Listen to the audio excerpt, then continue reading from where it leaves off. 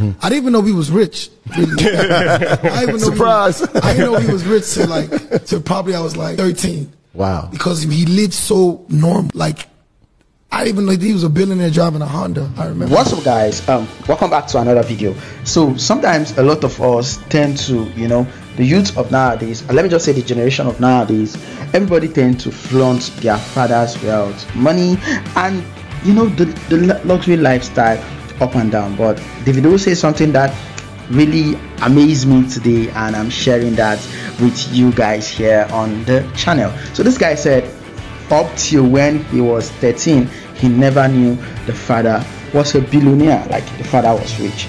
Just when he clocked 13, that he actually find out that.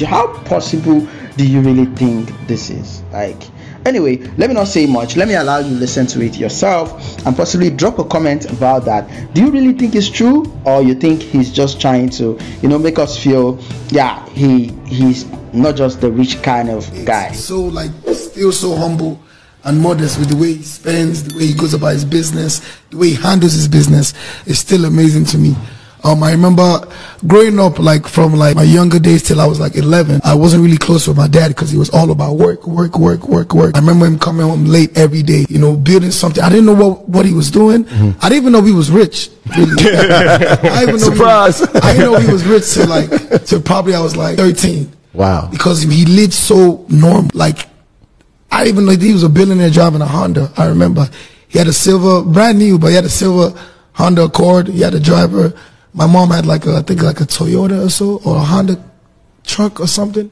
So like I didn't know they lived so modest until we moved out the house to the new house. So we get to the new house, I'll never forget. So we get to the new house, and I'm like, oh, we live.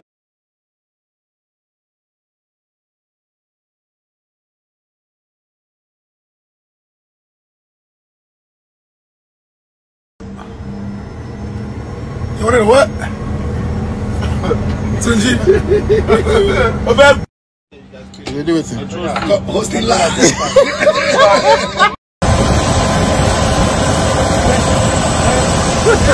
Push your nose.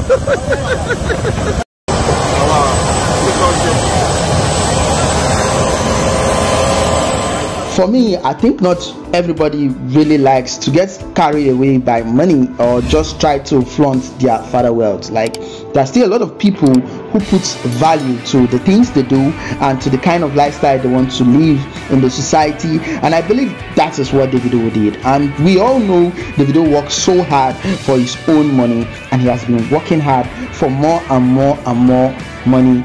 More fame more power growing his different businesses improving his music career and all of that. Thank you for watching. Please in the comment section tell me your thoughts. Do you really think this was um, amazing something motivating to take home? Or maybe just uh, a quote